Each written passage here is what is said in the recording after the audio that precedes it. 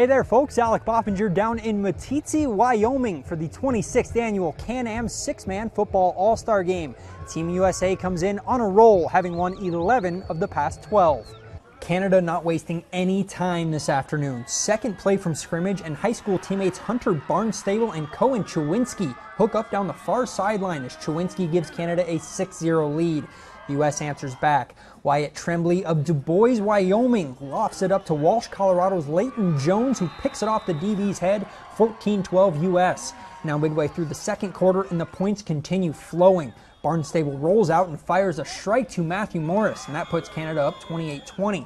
But a good finish for the U.S. to the opening half. This is Hay Springs, Nebraska's Gage Mintkin taking the toss and cutting it inside as he pulls the U.S. within two, 28 26.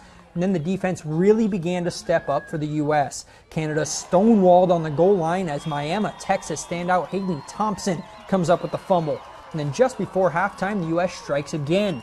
Connor Rowden-Stum out of Genoa Hugo, and Colorado goes straight up the gut for six. It's 36 34 Canada at the break. And then Canada would strike first again in the second half. Morris pounds his way in from three yards out to put the Canucks up 10 midway through the third quarter but the U.S. then ripped off 31 unanswered points as this is Mintkin around the right end.